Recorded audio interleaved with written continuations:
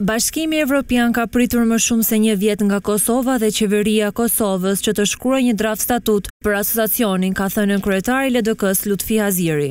Haziri ka thënë se kjo nuk është bërë nga ana e Qeverisë së Kosovës dhe pastaj është bërë një propozim tjetër. Sipas deklaratave të Hazirit, propozimi tjetër për shkrimin e draft statutit duhet të bëhej një nga grup ekspertësh të përbërë nga tre përfaqësues kosovarë, tre evropianë dhe tre serbë për të përpiluar këtë draft. Megjithatë, edhe kjo përpjekje ka dështuar. BE-ja ka prit me muaj të tërë që Kosova nuk po e merr autorësinë. Ka më shumë se një vjet Kosova me shkru draftin. Nuk është shkruar nga Qeveria e Kosovës.